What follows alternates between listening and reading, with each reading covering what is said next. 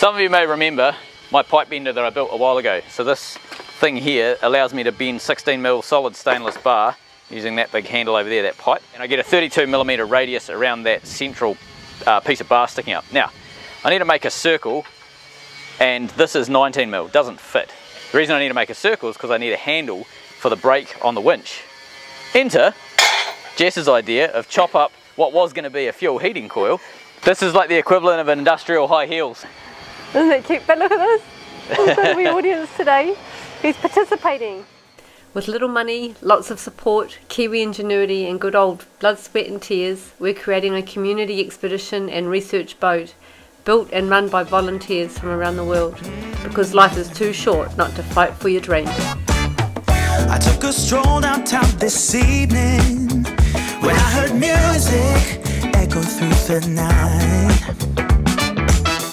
The same old songs that I heard the night before. So I started running so I wouldn't be too late.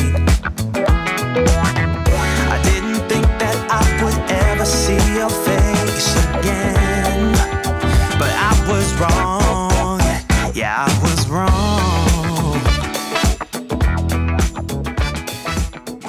Yeah, so the original plan was to actually use a bit of straight pipe and bend it, and every 30 mil do a bend and we'd get a slight dimple on the underside as we bend it around, because it's not mandrel, it'll bend with a kink. And that will actually end up as like grip handles, but that's practically impossible. Which would be very cool. It would be cool, but it's too hard. So what we're going to do is use these pre-formed circles. These are all mandrels, so these are perfectly round basically. So what I'm thinking is cut down here somewhere and then cut down here, squash them together to create one, tig it together, perfect circle. We found these at the Scrappy, right? Yeah, this was This, um, this is at the Scrappy? yeah, this was at the Scrappy a while back. Um, and we thought, because we, we want to heat the pickup, is that how you say it? Yeah. Pickup out of the tank. Yeah, we have Um, to heat the veggie oil, and we were thinking of this.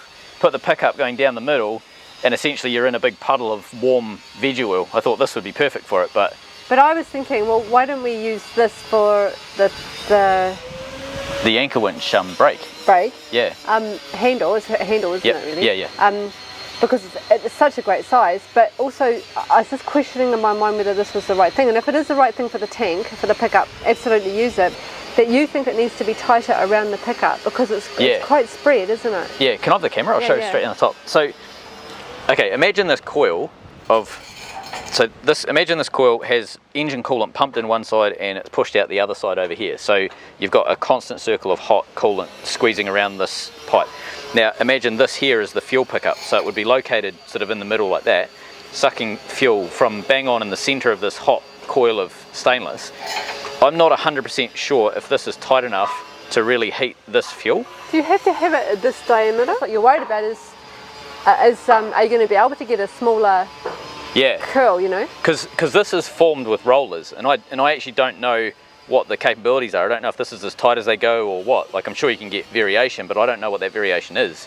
Do you have to have a mandrel? Is that what he's saying? You don't need to have it No. clean cur- curl, do you? Like Well, a mandrel Circle. a mandrel doesn't deform the tube. So if it's say if let's say if it's 20 mil here, it's 20 mil there. So it doesn't bend like kink it in. But this is going in a tank. Yeah. As long as it's not blocking or reducing flow, do you have to have it like a perfect? Because they're hard to get, it, probably, aren't they harder? So maybe we could find something to even make something. I was just thinking actually if we don't have to go down the road of needing it to be mandrel, we could make it. That's what I'm thinking. All right, maybe we just do that then. As long as it's not reducing flow, right? So, I think we've found I think our- you've found the solution. That's very cool. yeah, yeah. Now you can do all the hard work. Thanks, darling.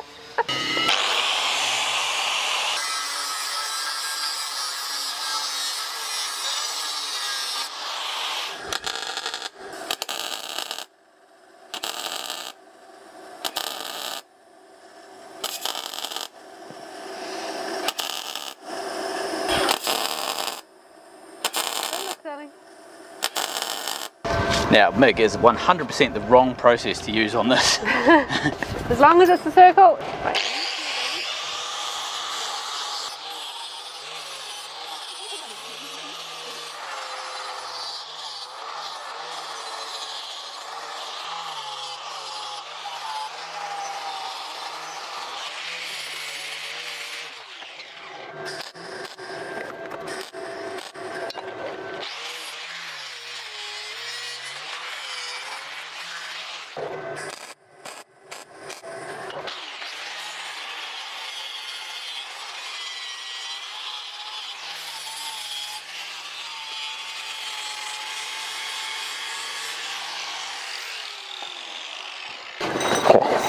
It'll be quite warm, but should we polish it up? Is that it? Yeah, that's a join. Wow, that is very cool. Oh, you're right. Used to be a join. I can see it, yeah, yeah. Yeah.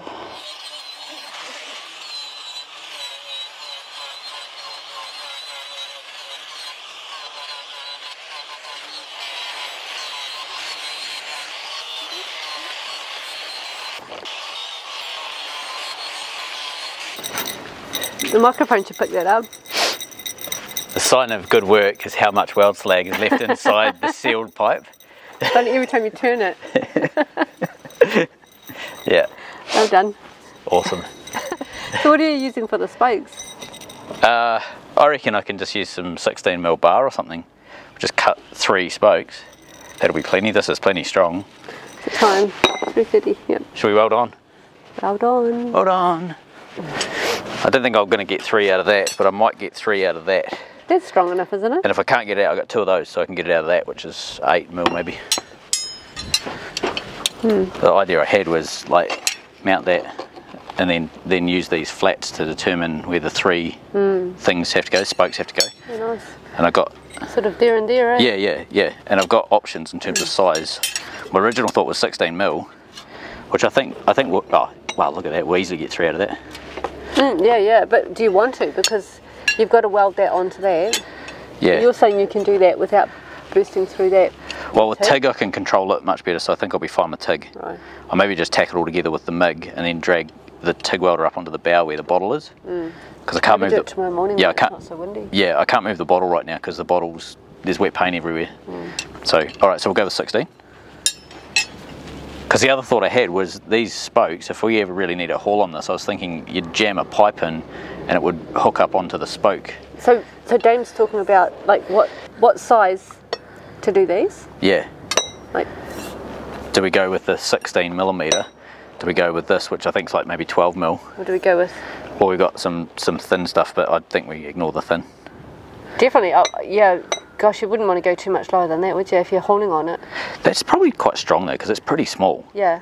I'm thinking this is overkill. Yeah, okay, let's go with these. Yeah, but yeah. it is you, so Well, I was going to build the whole thing out of that, so okay, so let's go with these. okay, okay. I like that idea. All right, let's under engineer something. It's not under, under engineering. Hmm. It's just right. Which is the theme of the next month.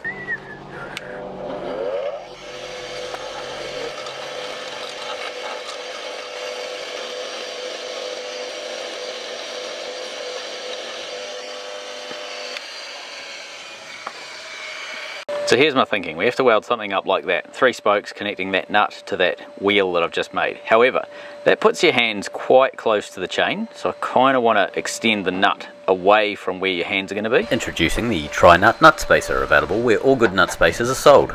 I think that'll work.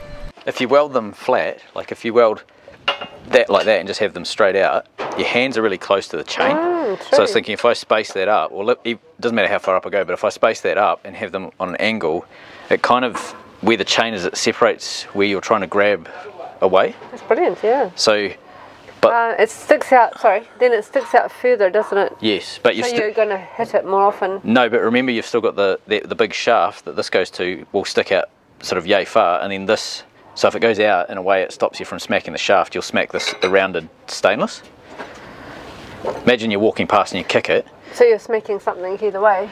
Yeah, but would say? you? Yeah, but would you rather boot this? Would you rather boot a solid stainless shaft that's not going to move? Oh, the, oh wait, you know, we can put, make a little, Oh, we should get a fluffy um, steering wheel cover, Yeah, like a pink sheepskin. yeah, it's, you know, that um, stuff we use in the bathroom. Oh, the foam Noodles? stuff. Yeah, pool noodles. Pool noodles? Yeah, we could Yeah. wrap some pool noodles. If we put enough around and the boat sinks, we could we could theoretically hold the boat up. So the bit that I'm stuck on is how do I get it even? What do you mean, even?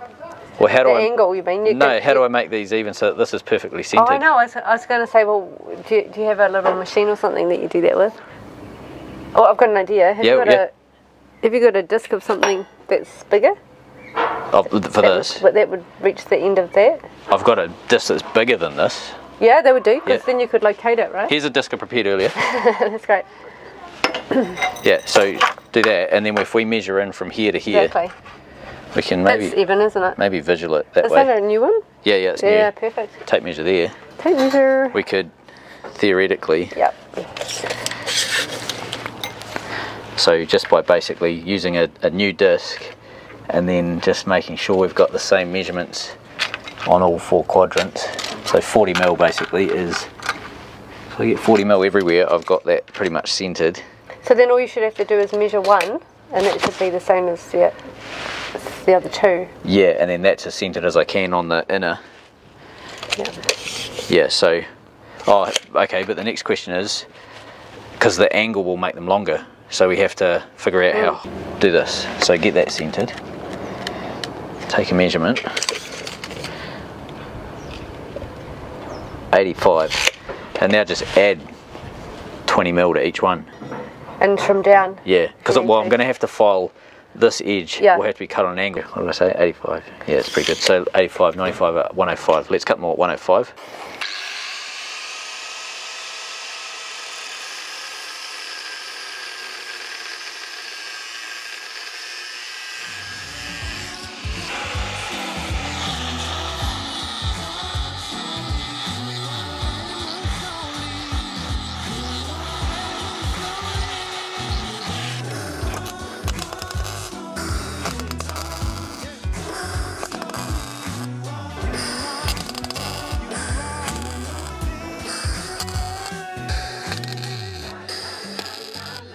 Reckon that'll do. Time to take it up and make it look lovely.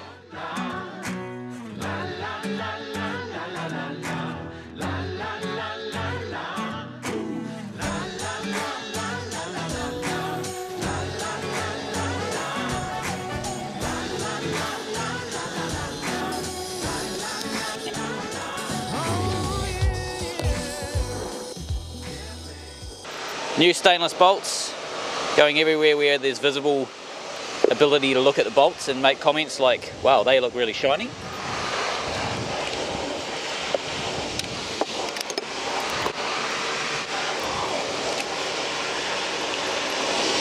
In case people are wondering, the original bolts on this were stainless, but they were manky, so it's about 20 bucks to replace all of the bolts on the external sides of these of this winch, so it's worth it. I think it looks awesome.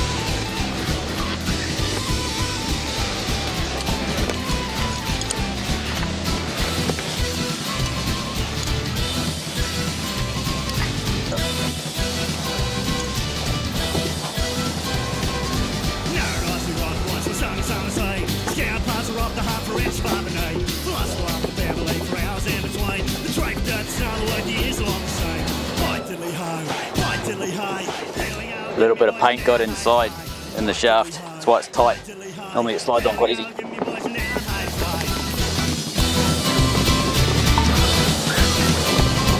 Not close enough to wind it in, but very close.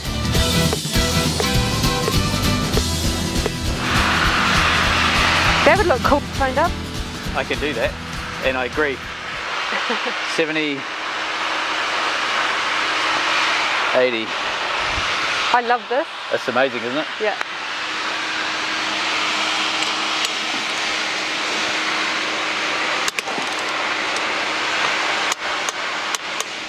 Click, click. Right, put this one on. We probably should shine this up now, eh? That's one of those, um, the funnest jobs ever, isn't it? Oh, I love it. I love assembling these things. That goes on next. Uh, I need to go down and shine that up get rid of the old colour. It's all stainless, so that used to be concave, and I got them to skim it flat. And I don't know why they did this, but they've skimmed that to obviously like yep. dial it up. But looks gorgeous. It's beautiful. So that goes on the winch, and that goes on the shaft, and you have two brake discs, one there, one there, with that in between them, and the fine thread clamps it all together with that wheel like that. Actually, that's the first time we've ever seen it on there, isn't it? So that's how we. Ooh, yeah. Look at you getting all nautical. That's awesome. Go away. Wow. That's a great design. That's fantastic. So it stops you smashing that. Yeah, yeah, yeah. I get it. I think we should call that the knee capper, and that's just the shin denter. I can't wait to get this all done. It's going to look so beautiful. Although some people have brought up some, some interesting points in the comments though.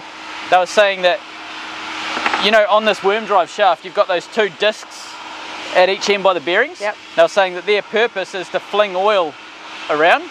So if you fill it up too much, they can't fling oil. So they actually work better with not much ah, oil in them. That's good to know, yeah. I didn't know that. Yeah, because you were going to... I was going to fill it up. It's designed for a boat like this. They must have considered that it's going to be sloped, surely. The, well, the other side of it is that, and somebody else brought up a point which I thought was really good. It's a small box. There's so much chaos going on inside that box yeah. that oil's going to get flung around regardless. Yeah.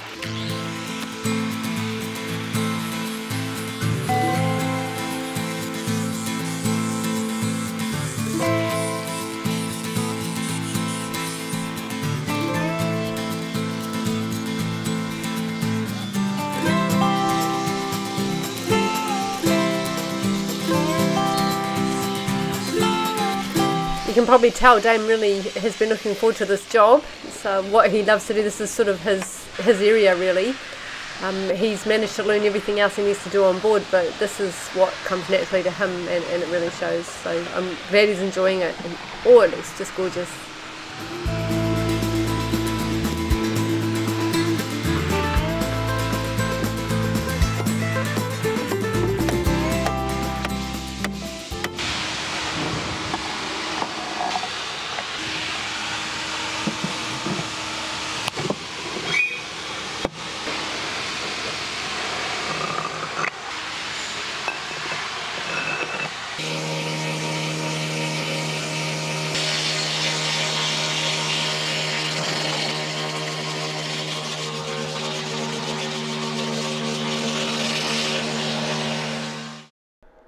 So I thought a flyover.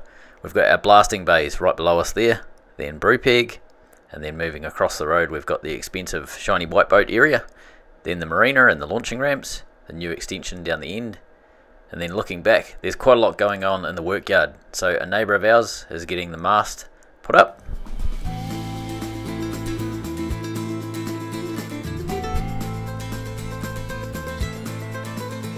As well as the normal boats being launched. And then up the front of Brupeg, I'm attempting to chop a hole inside a hole, obviously. Remember Dame added on this new steel plate uh, underneath the anchor winch to level up the deck but also give it some stiffening and strength. I had to weld the holes uh, that go through on the deck below. Now he has to cut in so that the bolts will slide in easily.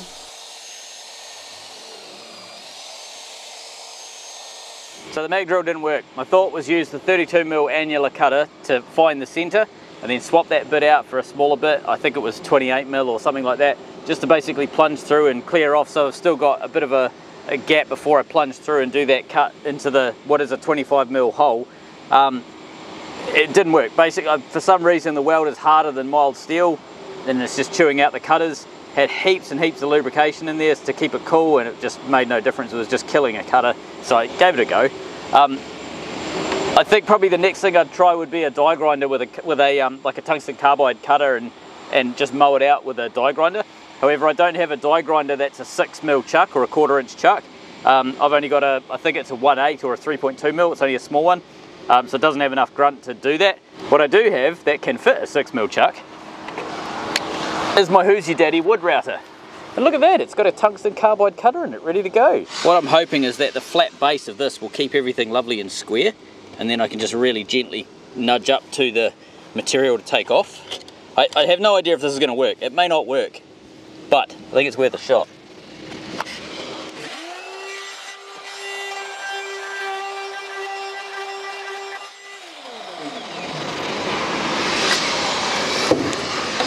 I'm going to call that the most successful bodge job that I have ever performed in the history of the world. This is what I'm looking at. Basically, it just ripped it out. It was absolutely brilliant. That was amazing.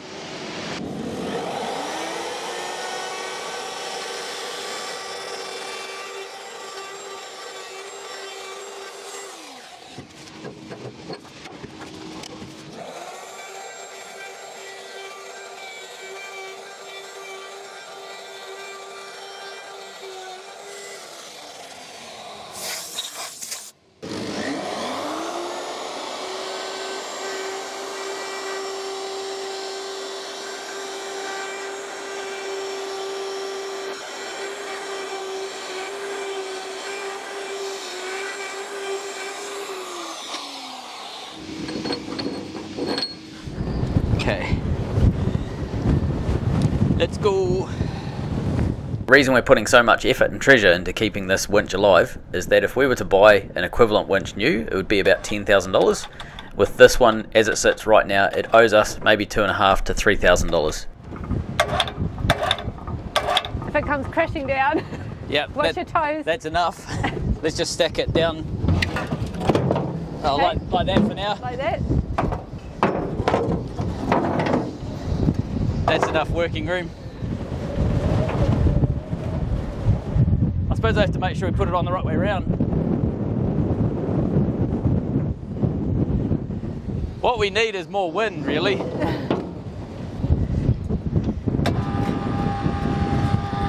you want me to do the driving, then you push? Oh, you right. I think I've got it. Oh, there you go. Just go down gently and. Yep. Okay, you go there. Yep. Yep. Lift up? All the way down. Yeah. We can shimmy it on the wow, ground. Wow, that is amazing. So come all the way down and I'll get rid of this.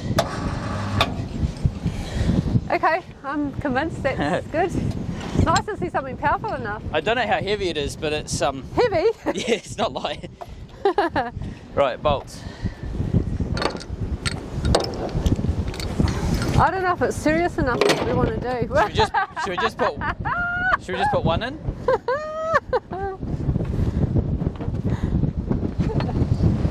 I don't know if they're big enough. I like big bolts and I cannot lie. wow. I'll, I'll, climb down the bottom and push them up. And if you I can, do, do all them the you can do okay. a washer and a nut on each one. Okay, here, let's just put these somewhere else then. Yep. Okay. All right. Uh, One sec. I'm just putting yeah, chuck the bolts down when you're ready. Yep.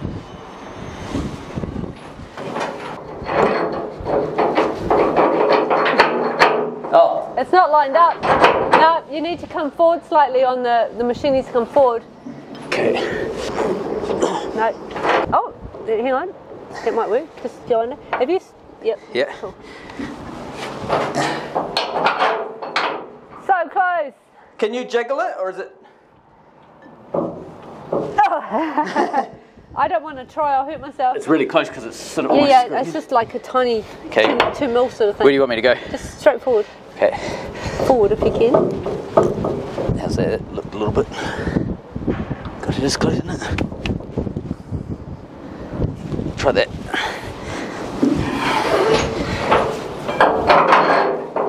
Yep.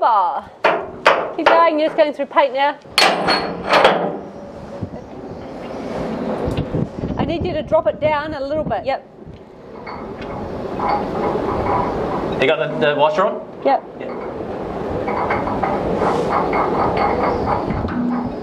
See, let's get the far front left on, because that'll that'll do it that way, you know. Can you see if it's lined up? Do we need to go any direction? I won't be able to know until you Okay. it through. It looks alright, but All right. I won't know for sure until it's in. Uh, yep, okay, I need to go sideways a bit. Okay. Which way do you want it? That way, yep. Oh, that's probably bit much. I'll Too push. much, I think. Yeah. Okay. Yep, too much. I'll hold it. Can you jiggle it, or is it still too tight? I shouldn't be lifting something this heavy. Okay. Okay. Just um. Oh, hang on, try that.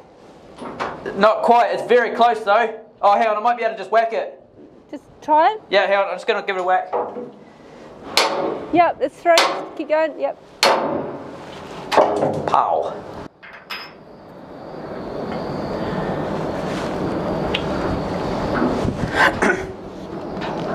On. Okay. Cool.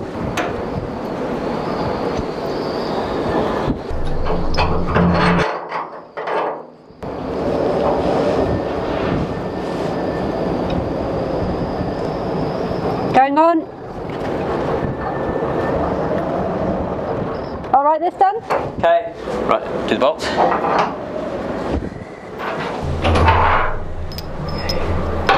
You ready? Wait.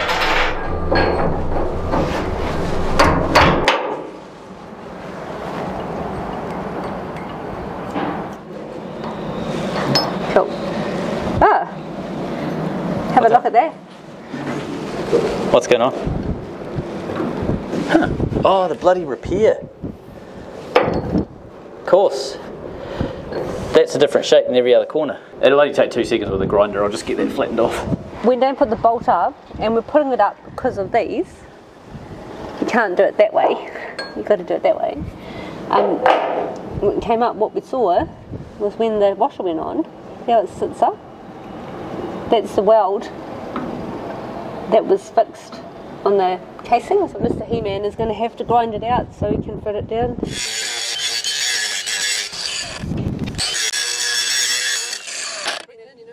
Okay, so the nut will fit like that. Uh, I doubt you're going to get that washer in it. You've got No. to take too much of the weld I think eh? I'll clip the side off it.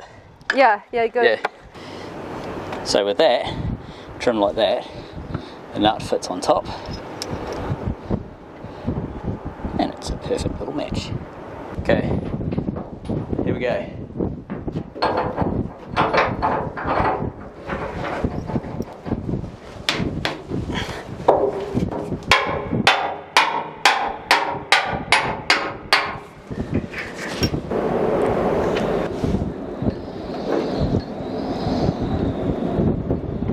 Do you want me to turn it or is it? You're right. Then that has spoken for itself.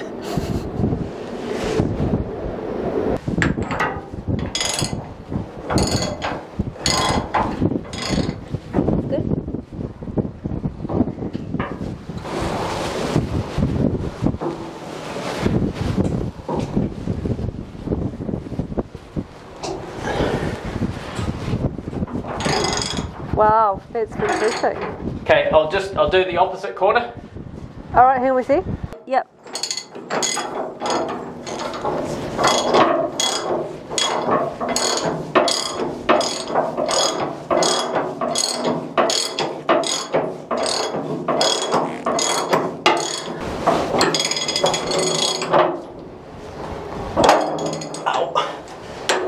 You alright?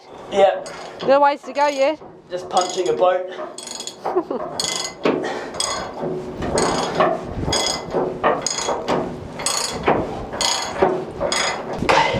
Okay, other side front.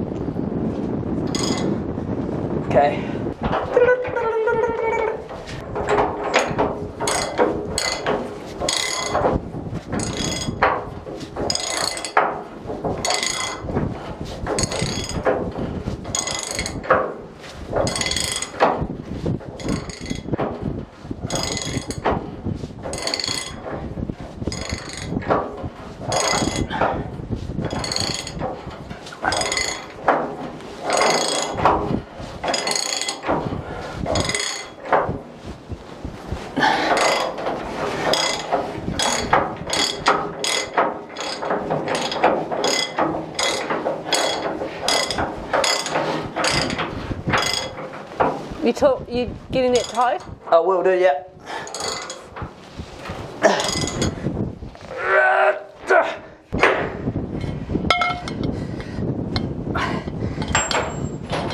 Okay.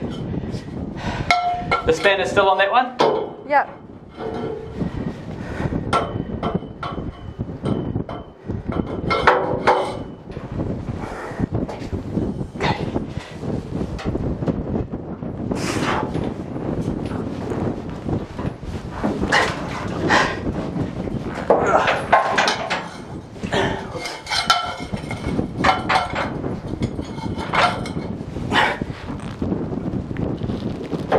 Click, click. All right. You ready when you are? Yeah, alright, here we go. Oh, you okay? Yeah, yeah. I'm just. Moving. Yeah. Tell me when it locks up.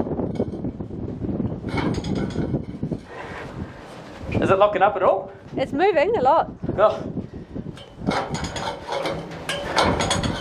Okay, there it is, I think.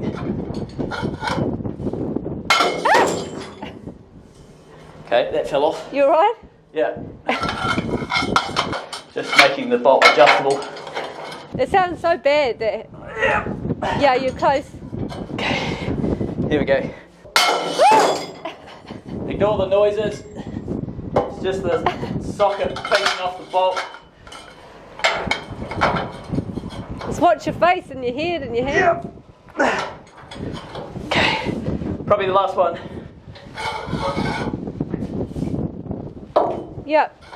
Oh, hang one more. Yep. Uh, one more. Yep. Click, click. Okay.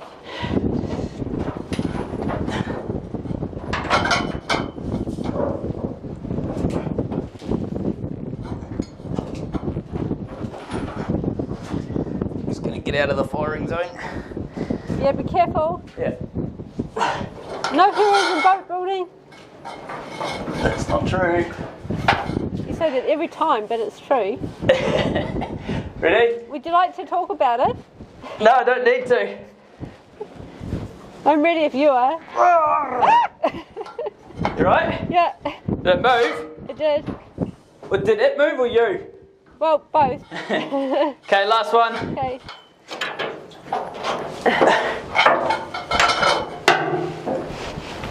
Okay. Tell me when you're ready. Yep.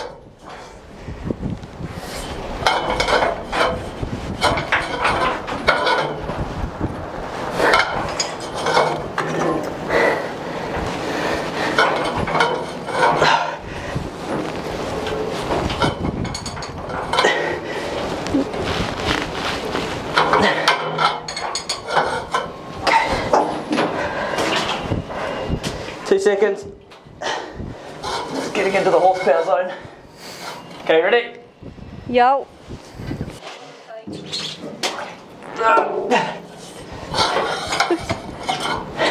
Okay, bit more. I think you should see some maneuvers. What? I think you should see some maneuvers. Manoeuvres ceased. Alrighty. Oh yeah.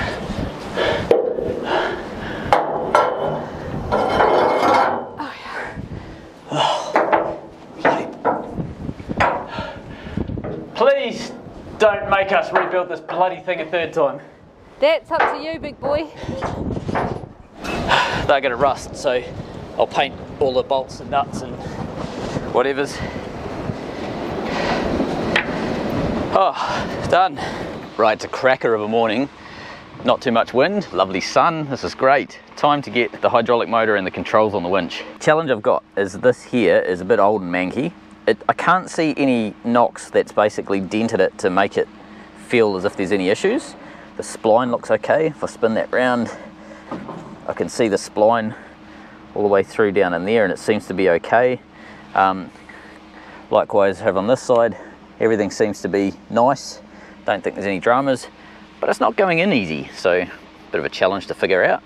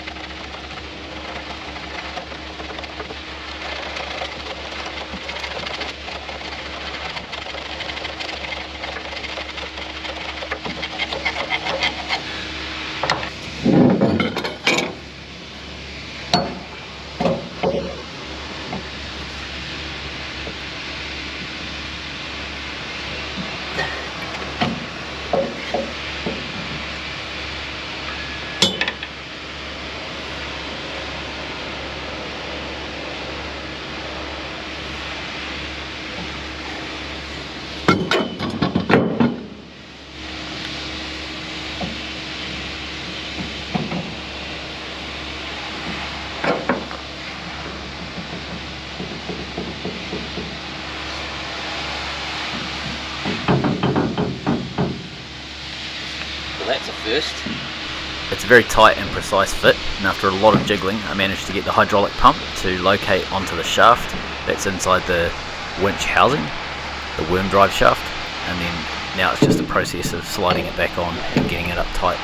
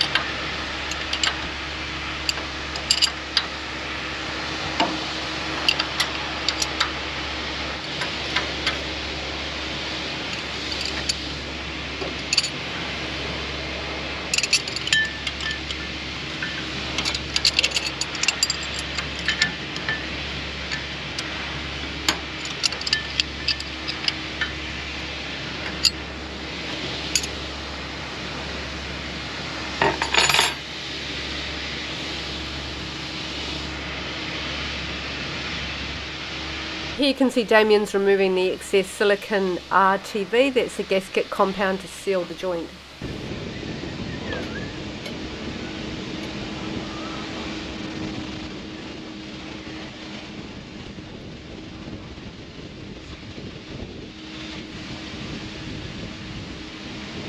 And on goes the hydraulic motor control mount and oil fill port.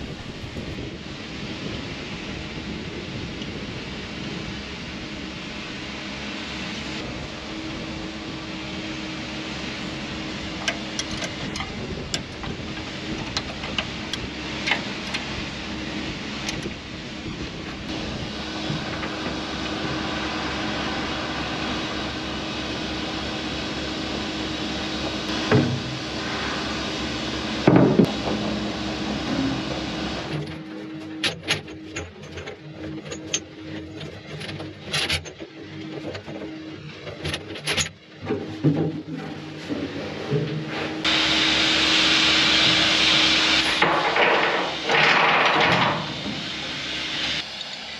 been a noisy week. We've had one to three sandblasters going in the bays this week, plus needle gunning around us, plus the wind. Um, thanks very much for being so patient with us uh, trying to record this.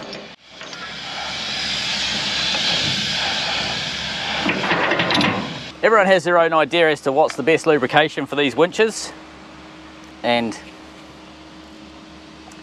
I'm no different. As a Kiwi I like to, to stick to what I know. I couldn't get Marmite but you know Vegemite is pretty close for any Australians out there that are looking for a great quality lubricant for winches. There we go. This episode brought to you by Vegemite. Tastes as gross as it looks.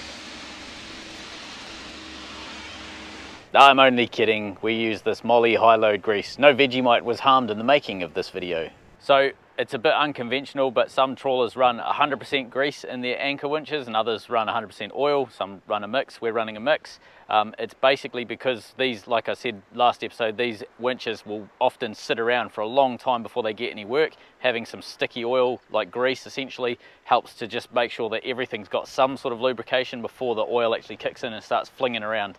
I'm pretty curious about how much oil this thing's going to hold. So I've got a jug, quite a big jug, it's a three litre jug, which is about, I don't know, 47 gallons. I've got two and a half litres in each one of these little canisters.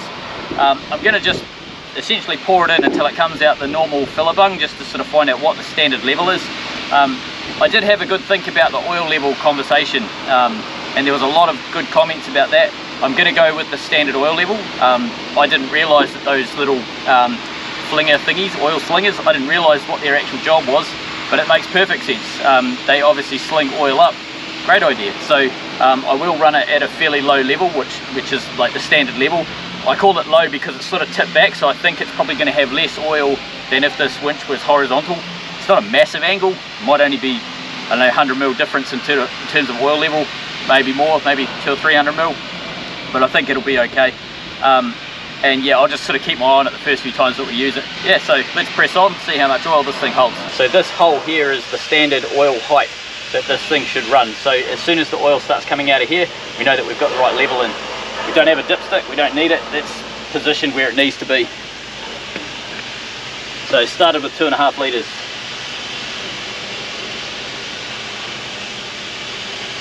This may take longer than I thought.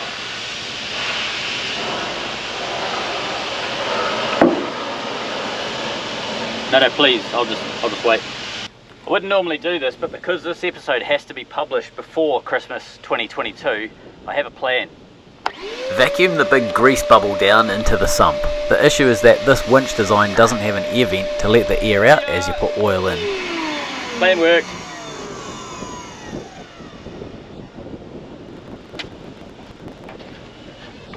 I saw a big wallop of it coming out here, but it was an air bubble. Doing it again. Right, so big old air bubble coming out of the bottom here. There we go. Now it's burping at the top. Diddly high, here we go, give me boys and down, ladies way. High diddly high, high high, here we go, give me boys and down, ladies way. High diddly high, high high, here we go, give me boys and down, ladies way. High diddly high, high high, here we go, give me boys and down, That's where it should be coming out. We've got two and a half litres in so far and we're still nowhere near the top of that. So time for contestant number two.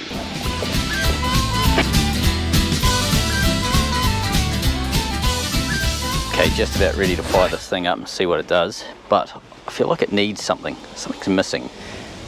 Oh, much better. Thanks, Nick.